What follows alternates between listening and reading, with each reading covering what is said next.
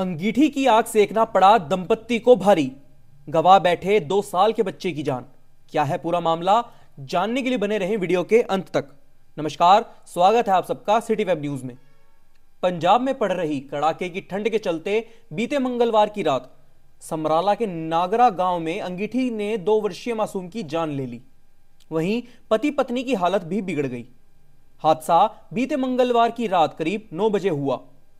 अनमोलक सिंह, उम्र 27 वर्षीय, अपनी पत्नी सुमनप्रीत कौर और दो साल के बेटे अरमान के साथ खाना खाने के बाद ठंड लगने पर कमरे में अंगीठी सेकने लगे। लेकिन उन्हें क्या पता था कि इस अंगीठी से वे कुछ देर की गर्माहट तो पा लेंगे, लेकिन इसके एवज में वे अपने बच्चे की जान से हाथ धो बैठेंगे।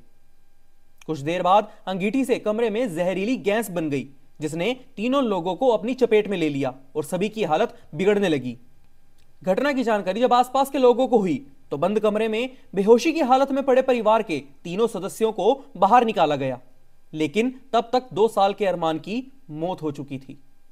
पुलिस भी मौके पर पहुँची और सभी को समराला के सिविल अस्पताल ले जाया गया, जहाँ डॉक्टरों ने बच्चे को मृत घोषित कर दिया। प्रारंभिक उपचार के बाद पति पत्नी को चंडीगढ़ में रेफर कर दिया गया। समय पर इलाज मिलने से सुबह तक पति पत्नी की हालत में सुधार हो गया, लेकिन अपने बच्चे की मौत के सदमे से वे अभी तक उभर नहीं पा रहे हैं। एसएचओ राव वरिंदर सिंह ने कहा कि जैसे ही उन्हें सूचना मिली, वे मौके पर पहुँचे। घर में दंपत्ति की हालत गंभीर थी।